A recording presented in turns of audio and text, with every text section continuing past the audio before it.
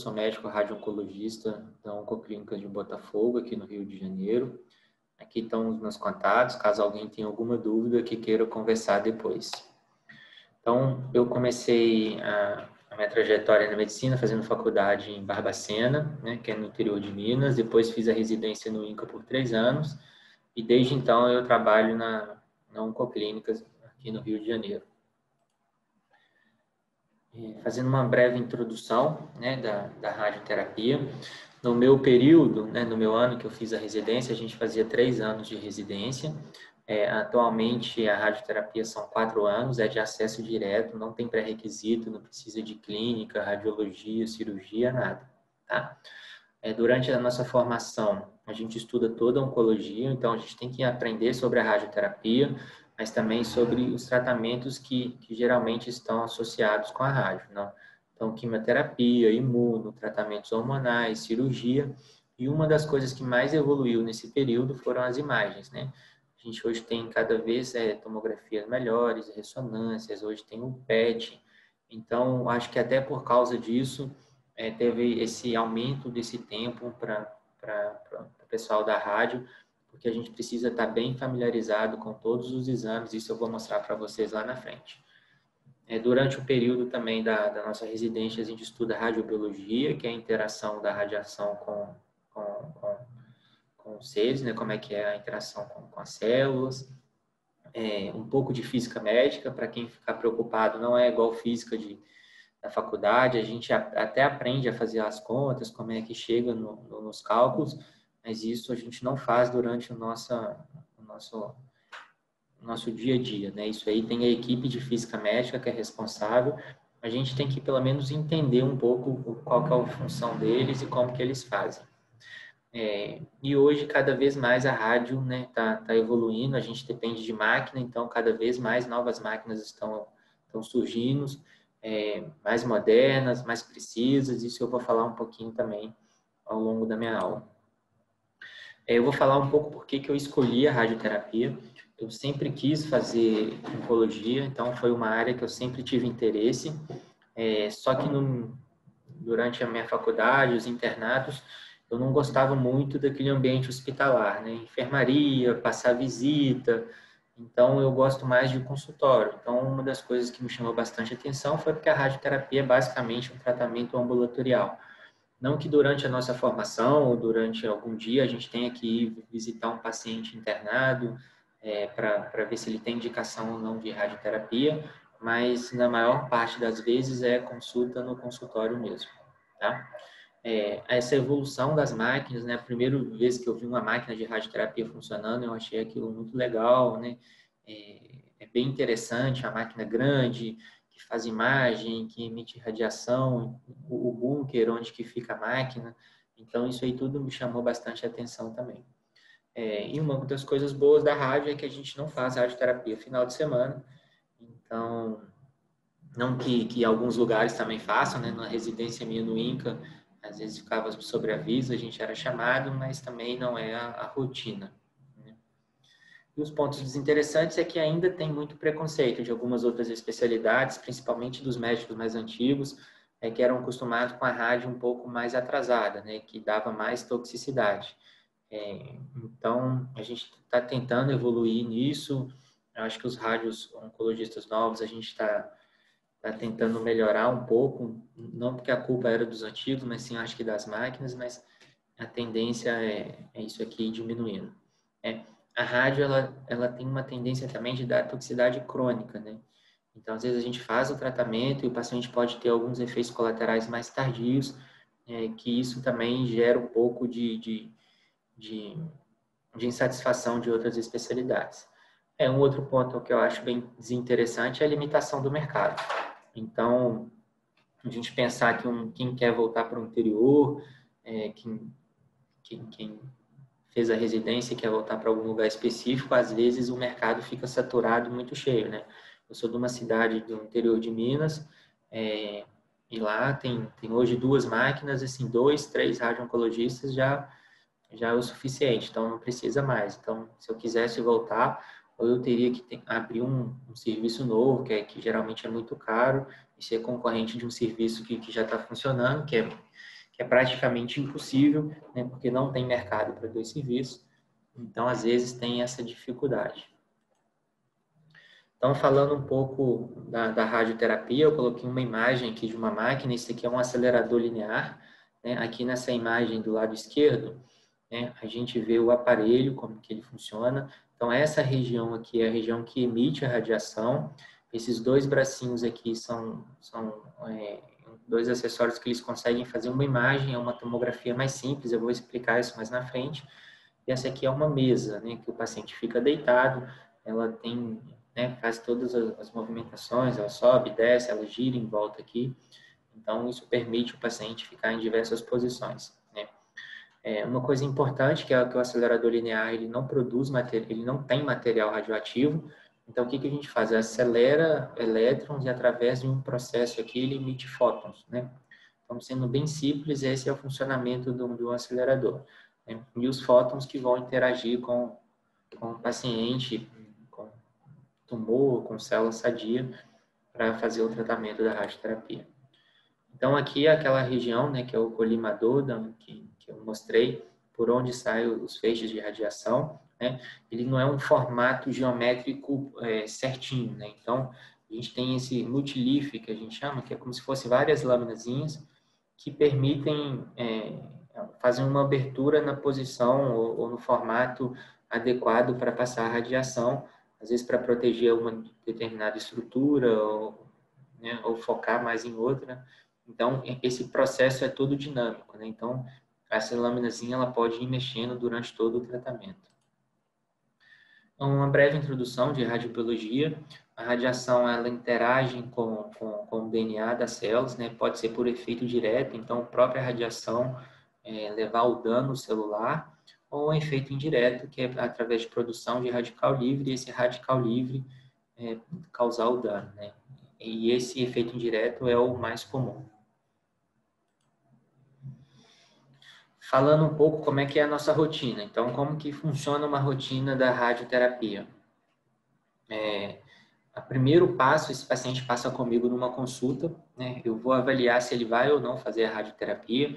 Na maioria dos casos, esses pacientes são encaminhados por nós, para nós pelos oncologistas, alguns casos por cirurgiões, como urologista, cirurgião de cabeça e pescoço, neurocirurgião.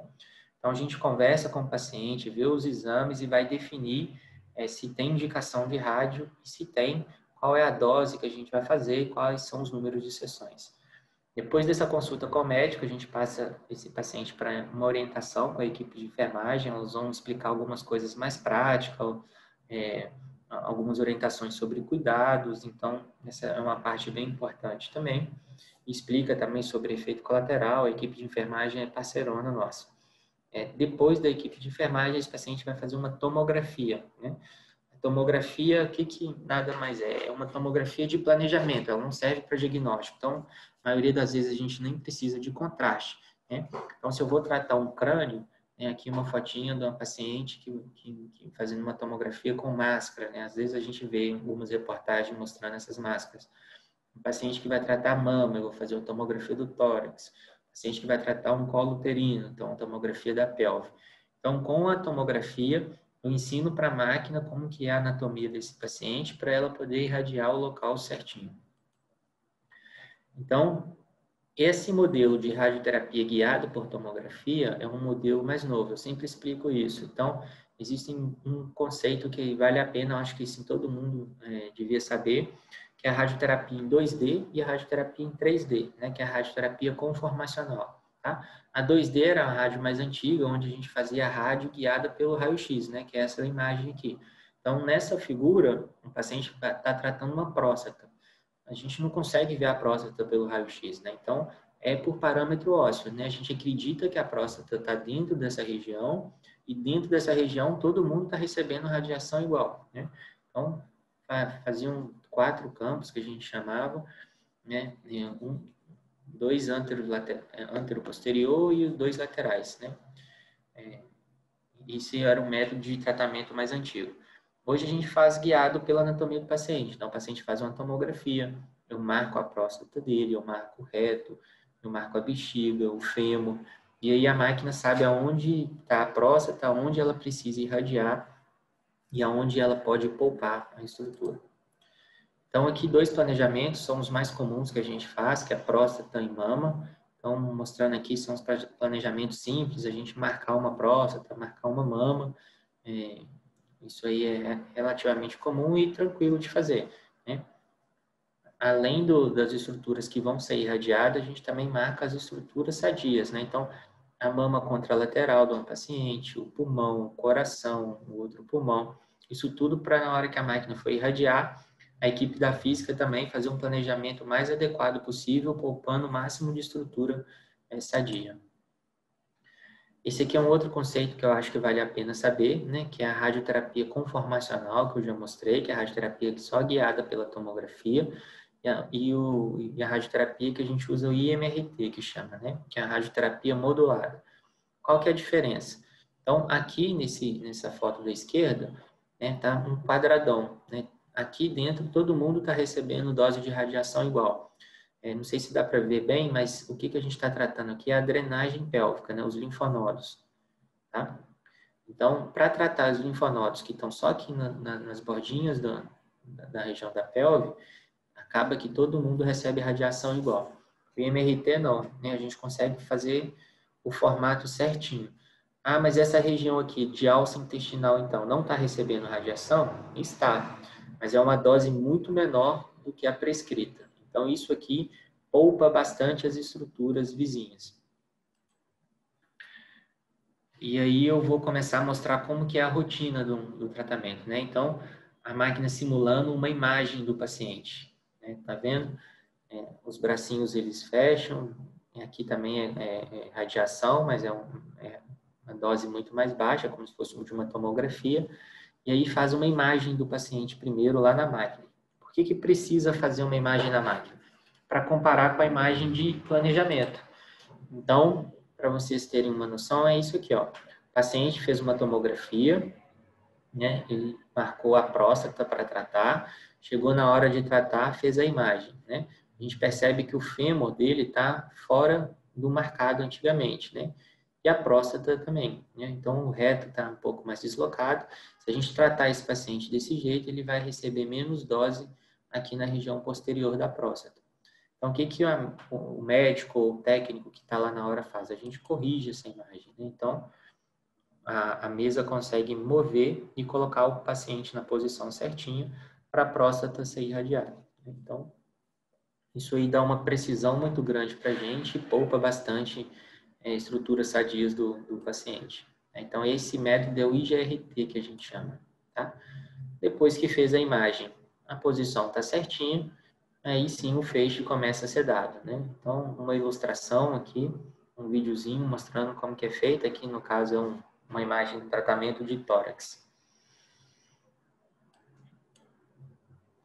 Aqui é uma imagem vista do planejamento do paciente. Então, ali a gente viu uma imagem por fora e aqui uma imagem como se fosse de dentro da máquina, né?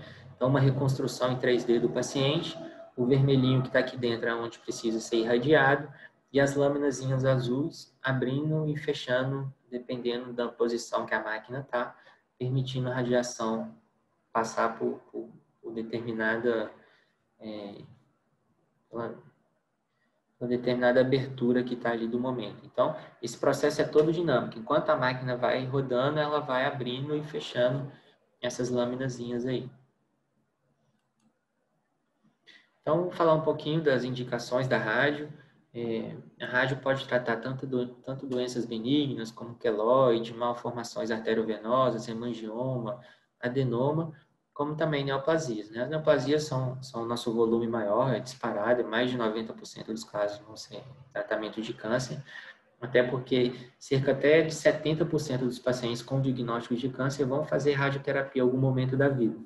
Essa radioterapia pode ser radical, né, que é aquela com intenção curativa, pode ser só com rádio, pode ser rádio mais algum outro tratamento, pode ser neoadjuvante, quando a rádio é antes de uma cirurgia, pode ser adjuvante quando é após a cirurgia, ou pode ser um tratamento paliativo. Né? A rádio tem uma função muito boa para controle de dor, para controle de sangramento, é, desobstrução de, de algumas estruturas que estão comprimidas. Então, essa aqui é basicamente a nossa rotina. É, para essa aula, eu escolhi quatro casos para a gente discutir aqui, para vocês terem uma, uma noção como que é o nosso dia a dia, como que é a nossa rotina, tá? É, mama e próstata são o nosso maior volume de tratamento, acho que em qualquer serviço de radioterapia. É, pulmão também é bem frequente e reto. Então, escolhi quatro casos do dia a dia mesmo nosso, só para vocês entenderem como que é o nosso raciocínio e como que a gente decide fazer esse tratamento. Então, o primeiro caso é uma paciente de 70 anos com diagnóstico de neoplasia de mama esquerda. Por que, que eu já coloquei o diagnóstico dela? Essa paciente já chega no meu consultório com esse resultado, né? Porque mama, a paciente costuma começar pela químio ou, e cirurgia, ou então faz cirurgia primeiro e depois vem para rádio. Então, esse paciente já chega com diagnóstico para a gente na radioterapia. Né? Esse paciente já chega diagnóstico, já chega com os exames, é basicamente tudo pronto, né? É, de vez em quando a gente pede algum exame de imagem a mais para complementar é, e para ajudar no nosso planejamento. Então, a história dessa paciente, ela fez uma mamografia de rotina, teve uma lesão BRADS 4, para quem não lembra, BRADS 1 e 2 é doença provavelmente benigna, o 3 é como se fosse indeterminado, o paciente repete em seis meses, 4 e 5 já indica biópsia, né?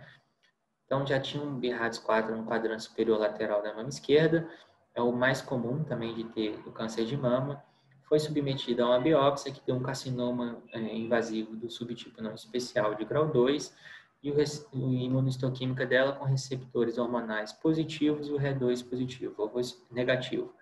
Eu vou explicar isso um pouquinho mais para frente. Ela foi submetida a uma cirurgia conservadora, né, tirou só o quadrante acometido e fez a biópsia do linfonodo sentinela. No laudo histopatológico, manteve um carcinoma do tipo não especial, invasor, grau 2, a lesão media 1 centímetro, tinha três linfonodos sentinelas negativos e a margem era livre. Então, essa paciente já foi submetida à cirurgia e agora a gente, com esse laudo histopatológico, a gente precisa definir. Vai fazer químio, vai fazer hormônio, é, vai fazer rádio. Então, eu vou explicar aqui um pouquinho para a gente ter uma noção. Então, o que, que é o importante do laudo histopatológico? Primeiro, qual foi o tipo de cirurgia dessa paciente? Né? Ela fez só uma mastectomia ou fez uma cirurgia conservadora? Ela tirou essa mama toda ou só um pedacinho? Ela tirou o linfonodo sentinela é, e veio negativo, ela precisou esvaziar a axila inteira. Qual era o tamanho dessa doença? Os linfonodos estavam não positivos, isso aqui é um dos fatores prognósticos mais importantes.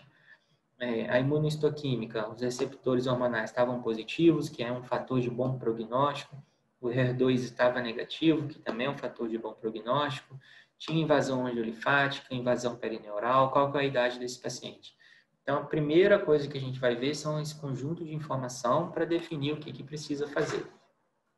Eu vou fazer um resumo muito simples aqui para a gente entender.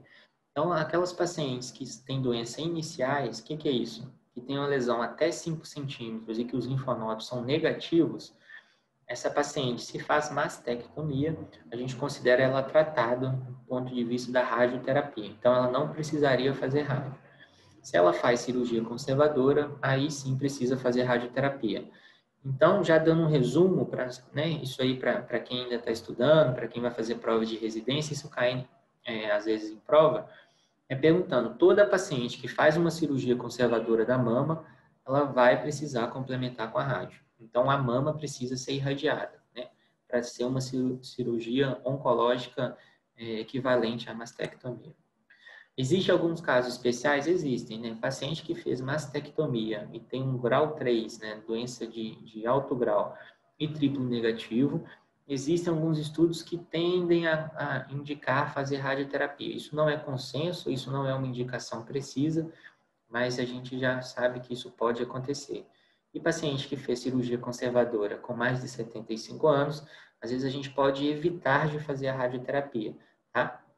Isso aqui é uma decisão difícil também. A gente sabe que não fazer radioterapia, o controle dessa paciente vai ser menor, então tem que avaliar bastante também a expectativa de vida dessa paciente, não só a idade dela. A gente sabe que tem vovó de 75 anos, muito inteirona, que tem uma sobrevida ainda muito longa pela frente. Enquanto isso, a doença é localmente avançada, então aquelas doenças maiores do que 5 centímetros ou que tem linfonodo positivo, independente da cirurgia, a gente faz a rádio. Né? Eu vou explicar isso aqui um pouquinho né, mais para frente, porque isso aqui também não é 100% verdade, mas é mais fácil é, decorar assim. Então, tumor maior que 5 centímetros e linfonodo positivo, a gente vai fazer radioterapia. Vou explicar como que é feita a rádio, então. Então, aqui são duas imagens mostrando como que é uma drenagem linfática da, da, da mama, né? Então, a mama aqui direita representada, os linfonodos axilares nível 1, nível 2, nível 3 e aqui os da fossa, né? Então, bem desenhadinho aqui. Além dessa rede aqui é, axilar, também existem da cadeia mamária interna, né? Que corre aqui é, próximo ao, externo. É, a cadeia mamária interna ela é menos comumente acometida, geralmente é quando o paciente tem muitos linfonodos já positivos na axilar, ou então quando a lesão é mais medial. Né? Então, isso aqui é só para a gente lembrar. Pensa o seguinte, toda vez que faz a biópsia do linfonodo sentinela, o cirurgião marca qual que é, né, ele injeta um contraste na mama e vê qual que vai ser o linfonodo primeiro da cadeia drenada, né, o primeiro ou os primeiros. É, geralmente, quase sempre, praticamente sempre, é o linfonodo da axila 1, no nível 1.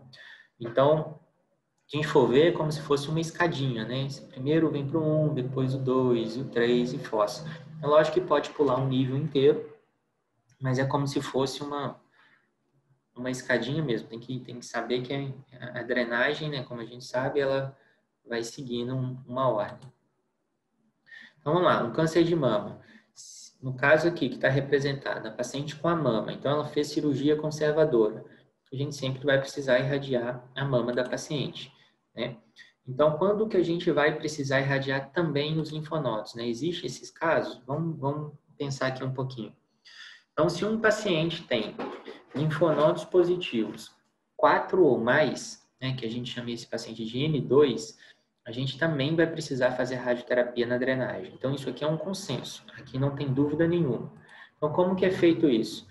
O cirurgião, ele aborda o nível 1 e o 2 durante a cirurgia dele. Então, o cirurgião tirou esses linfonodos, né, na cirurgia dele. O que, que a rádio faz? A gente complementa. É, vamos pensar, ele tirou 10 linfonodos, 15 linfonodos aqui, tem 4 positivos no nível 1 e 2. Será que aqui no 3 também não tem? Então, a gente complementa o que, que o cirurgião já fez. Então, a gente irradia a mama da paciente mais a fossa. Né? Quando tem de 1 a 3 linfonodos, essa indicação é individualizada, é aquele, naquela dúvida que eu falei lá no, no outro slide.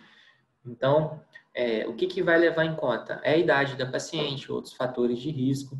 Apesar da gente da rádio, a gente é, tem uma tendência a irradiar, né, mesmo com 1 a, 3 linfonodos positivos, porque tem uma meta-análise que mostra até sobrevida, é, aumento da sobrevida dessas pacientes, é, mas isso aí também não é um consenso 100%. Né? Em alguns casos, uma, uma vovozinha, uma paciente bem esvaziada, a gente pode até omitir a radioterapia da, da fossa, tá?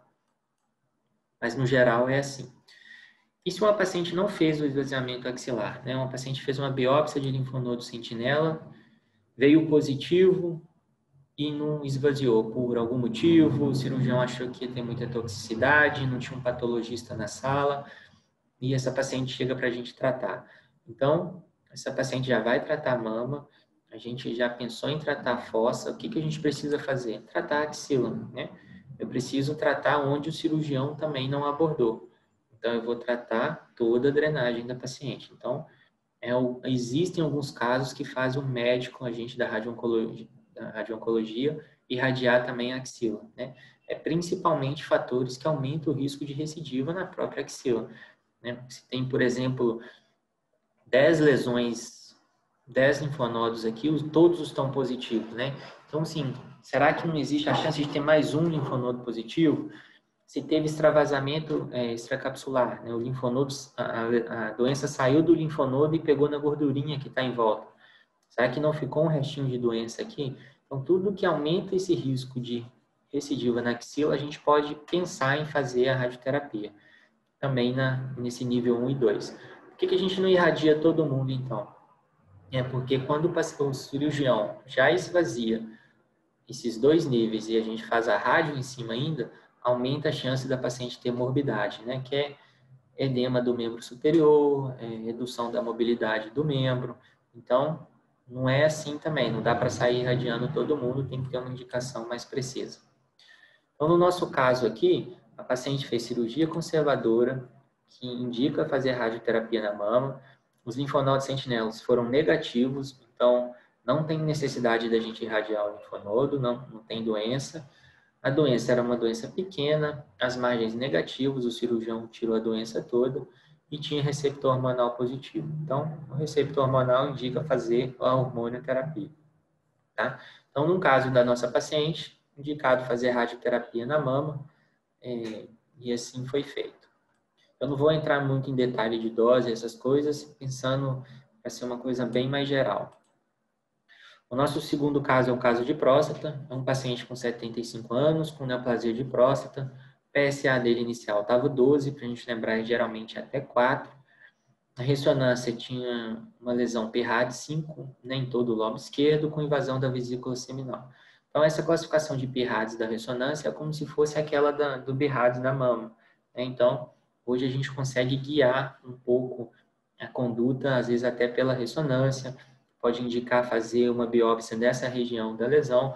É, Para a gente lembrar, a biópsia da próstata, ela é, ela, ela é às cegas, né? Então, na hora de fazer a biópsia, é como se dividisse em, em, em seis partes a próstata e pega pelo menos duas amostras de cada parte.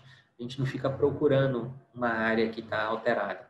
A não ser em casos que você vê a ressonância, que tem uma lesão suspeita, e aí você peça a biópsia guiada, tá? Nosso paciente fez uma biópsia, deu um adenocarcinoma Gleason 8, eu vou explicar isso mais para frente.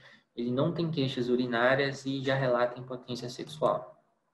Tá? Como que a gente começa a pensar um tratamento desse paciente? Então, próstata, a gente faz uma classificação de risco. Né? A gente vai levar em conta o valor do PSA, o Gleason e o estadiamento. Tá? O PSA ele às vezes está muito relacionado a volume de doença. Né? Então, paciente com muita metástase, com doença muito avançada, o PSA pode subir muito. Essa regra não é 100% verdade, mas isso dá um guia para a gente. O Gleason é uma classificação patológica, né? então fez a biópsia, o patologista vai, vai soltar esse resultado.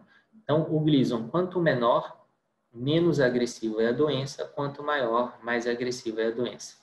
E o TNM é aquela classificação que a gente usa para quase todos os tumores. Da próstata, para lembrar, não está relacionada ao tamanho e sim ao acometimento ali dentro da próstata do nosso paciente. Como pegava a vesícula, ele é um T3B, tá? Não tinha nada de linfonodo e o estadiamento sem metástase, tá? Então, como é que a gente faz essa classificação? O PSA, Gleason estadiamento clínico, a gente vai classificar em risco baixo, intermediário e alto, tá? É, dependendo do risco que o paciente se inclui, a gente tem as opções de tratamento. O que, que vale a pena chamar a atenção aqui? Então, em todas as opções de tratamento, tanto do baixo, intermediário e alto, sempre tem a prostatectomia radical, tá? ela pode ser indicada em qualquer, a cirurgia pode ser indicada em qualquer uma dessas classificações de risco, é, vai ser levado em conta outros fatores, como a idade do paciente, comorbidades, se vai ser indicado ou não. E a radioterapia também pode ser indicada em todos os riscos, né? A diferença é que no baixo risco é rádio exclusivo, intermediário com bloqueio hormonal por seis meses e no alto risco com bloqueio hormonal por um período maior, tá? Nosso paciente, ele tem um fator de risco intermediário e dois de alto, então ele é classificado como alto risco. É, aqui, só para a gente lembrar, se o paciente tiver um fator de alto risco, ele sempre vai ser alto risco. Então, o paciente tem que ter é, o maior fator que ele tem aqui vai ser o que classifica ele. Então, assim, um T3A com PSA menor que 10 e Gleason 6, ele é alto risco de qualquer forma, tá? Então, isso aqui é importante. Então, o nosso paciente, ele pode fazer cirurgia ou pode fazer a rádio com bloqueio hormonal.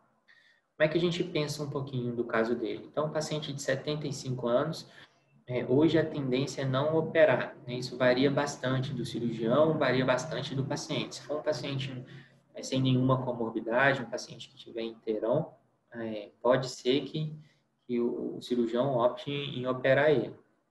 Tá? É, mas no caso, esse paciente também, como ele tem invasão da vesícula seminal, e pela idade, se tiver comorbidade, a tendência é ir fazer radioterapia. Então, como ele é alto risco, a gente faz rádio mais bloqueio hormonal. É um paciente que já tem impotência sexual, então ele tende a não preocupar tanto com o bloqueio, que é uma das coisas que é difícil às vezes convencer um paciente. Quando você faz o bloqueio hormonal, o nível de testosterona do paciente cai, a tendência dele é diminuir o libido é, e também ter alguma disfunção erétil, né? Ele não tem queixas urinárias, então a radioterapia tem um pouquinho de benefício em relação à cirurgia, principalmente quando compara com incontinência urinária. Né? Hoje a cirurgia evoluiu bastante, tem técnicas mais modernas, como cirurgia robótica, que, que os níveis de incontinência são bem baixos, mas isso aí é, acho que a rádio ainda está tá melhor. Então, aqui foi o caso do nosso paciente, então ele fez a radioterapia junto com bloqueio hormonal por, por dois anos. Aqui o tratamento da radiação pegando só a próstata dele, né? aqui atrás o reto, bexiga, então a anatomia do, de um paciente é, masculino é normal. Né? Então, quando a gente faz a radiação da próstata, um pouquinho da bexiga é irradiada, a uretra que está passando aqui na próstata é irradiada, o reto é irradiado. Então, essas estruturas que são as que geralmente levam o paciente a ter efeito colateral. Então, é comum o paciente aumentar a frequência urinária, ficar com urgência é, urinária, pode ter ardência, pode ter algum desconforto para evacuar, pode dar diarreia. Tá? Então, esses são os sintomas mais comuns de um tratamento de próstata, é bem tolerado, é um tratamento é hoje relativamente tranquilo para a gente fazer. O outro caso é um câncer de pulmão, então, é um paciente de 62 anos, hipertenso, diabético, já com história de infarto, DPOC, com quadro de tosse seca recente, evoluindo com homeopatia. Então, geralmente, é, isso varia muito no onde você atende o paciente, mas é, é, compatível com o paciente tabagista, né? Então, aquele paciente que já tem, já teve um infarto, tem um DPOC, né? Então, esse, esse paciente é comum para quem faz muito pulmão. Fez uma tomografia, tinha uma lesão de praticamente 9 centímetros ocupando todo o lobo superior direito e linfonodos aumentados no mediastino e no hilo. É, fez uma biópsia guiada por tomografia, deu um adenocarcinoma moderadamente diferenciado. Aqui é alguns marcadores é, que no câncer de pulmão são importantes, principalmente para os oncologistas é, pensar em fazer um tratamento depois. Né? O PDL1 também, que, que, que às vezes facilita, tem é, indica uma melhor resposta à imunoterapia, eu coloquei aqui mais para o pessoal ir, ir acostumando com, com, esses, com essas letrazinhas. Quem for da área da oncologia vai acabar aprendendo. É, um PET, né? Fez, fez o PET que mostrou hipercaptação, então aqui aquela lesão do lobo superior direito estava brilhando, e, e também nos linfonodos que a, que a ressonância, que a tomografia já tinha mostrado. Como que a gente pensa em tratar um câncer de pulmão? O câncer de pulmão é basicamente tratado pelo estadiamento, né? A gente usa o TNM, é, vai avaliar quais, como é que está esse estado clínico do paciente para optar qual é o melhor tratamento. Geralmente os estágios iniciais eles vão para a cirurgia, é um, um, tratamento de escolha local. Em alguns casos, dependendo dos fatores do paciente, ele segue depois com quimioterapia adjuvante aqueles pacientes que não, não podem fazer cirurgia ou que recusam fazer cirurgia, hoje a gente tem a SBRT, que é uma rádio com uma dose bem alta, é, restrita a um local. Geralmente as lesões até 3, 4 centímetros têm melhor resposta. E, e o resultado é bem legal. Para a gente da radioterapia foi um avanço muito grande esse tratamento. Em estágios mais avançados, então aqueles que têm linfonodo é, mediastinal positivo, que é o caso do nosso paciente, que tem uma lesão muito volumosa, que invade alguma outra estrutura, a gente precisa fazer radioquimioterapia e, em alguns casos, pode fazer cirurgia. Doença avançada, quimioterapia, droga-alvo, imunoterapia, que isso vai ser determinado pelos aqueles marcadores que eu mostrei no slide anterior. Então, nosso paciente, ele tem 62 anos e tem muitas comorbidades, uma delas é um DPOC muito importante, né? Tem linfonodos mediastinais hilares positivos, isso classifica ele como 3A, é um adenocarcinoma com marcadores negativos. Então, aqui é a tomografia do paciente, só para vocês verem como que está essa lesão pulmonar dele. Isso aqui é tudo alteração do enfisematose, então o pulmão desse paciente é bem sofrido, típico de um paciente tabagista de, de bastante tempo, então a reserva pulmonar dele é bem é, já diminuída. Então é um paciente sem indicação nenhuma de fazer cirurgia. Então, pela idade, pela comorbidade, já fala a favor contra a cirurgia. Os linfonodos mediastinais positivos indicam fazer mais radioterapia e quimioterapia, é, sem opção de fazer SBRT para esse caso. O adenocarcinoma, às vezes, ajuda o, o oncologista a definir uma quimioterapia. Hoje, a melhor opção de tratamento é esse paciente fazer a rádio e a quimioterapia concomitante, então começa os dois tratamentos juntos, é, e depois que acabar, ele segue fazendo imunoterapia. É uma opção que a gente tem, é fazer primeiro a quimioterapia e depois a rádio, né, o tratamento sequencial esse tratamento sequencial ele é menos efetivo do que fazer radioquímio junto, é, mas ele é mais tolerável. Então, para paciente que tem uma reserva pulmonar baixa, que tem muita comorbidade, com uma idade mais avançada, que é o caso do nosso paciente, é uma boa estratégia. Né? A radioterapia, aqui em vermelho, mostrando a área que a gente está irradiando, então a lesão do pulmão, os linfonodos mediastinais é, e os hilares também, que estariam mais para baixo aqui um pouquinho. No caso desse paciente, a gente fez a quimio primeiro, seguiu com radioterapia e agora depois ele vai começar a fazer a imunoterapia por um ano. Então esse é o tratamento padrão. O nosso último caso é um caso mais rapidinho, um paciente com câncer de reto. Começou o quadro com dor na região perianal e sangramento há seis meses, com perda ponderal não quantificada, evoluindo com constipação intestinal. Isso também é comum né, para o paciente do câncer de reto. Aquele paciente que começa a ter um sangramento, tanto o homem quanto a mulher, e eles escondem, né? Tá, tá, evacuando sangue e fica escondendo por um período, fica com vergonha, não quer procurar o um médico, enquanto isso a doença vai é, evoluindo. Então, quando resolveu ir na, no médico, ele fez um toque, viu uma lesão, lesão vegetante a 3 centímetros da margem anal, então isso aqui é considerado um reto baixo, fez uma colonoscopia que tinha uma lesão ulcerada, ocupava 80% da circunferência, iniciando a 2 centímetros da linha pequitínica. Fez a biópsia, né? a própria colonoscopia é um exame diagnóstico e ainda confirma com a biópsia que deu um adenocarcinoma moderadamente diferenciado. Então, primeira coisa que eu acho importante, a gente diferenciar o adenocarcinoma do carcinoma escamoso. Né? O adenocarcinoma, geralmente, na maioria das vezes, são os tumores do reto. O carcinoma escamoso, a maioria das vezes, são tumores do canal anal. Por que, que é isso importante? Porque isso aqui define como que vai ser o tratamento desse paciente. Né? Os tumores do reto, geralmente, eles passam por cirurgia e o carcinoma escamoso é radioquimioterapia. Tá? O paciente fez o diagnóstico adenocarcinoma, a gente precisa estadiar ele sempre com exames do abdômen e do tórax lembrar que são os locais mais comuns é, de metástase é fígado e pulmão, do um câncer de reto. Então, a gente precisa descartar a lesão nessas duas estruturas. E a ressonância da pelve, né? A ressonância da pelve é que vai dar aquele estadiamento do tamanho dos linfonodos, aquele famoso TNM.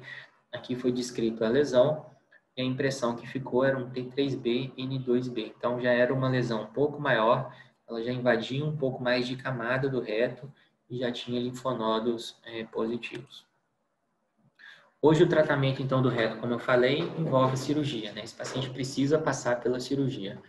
Então, quando os casos são mais avançados, que é o caso do nosso paciente, a gente começa o tratamento, então a radioquimioterapia neoadjuvante com quimio e radioterapia, espera um tempinho para dar um resultado e opera esse paciente. Geralmente aqui entre 4 e 6 semanas esse intervalo.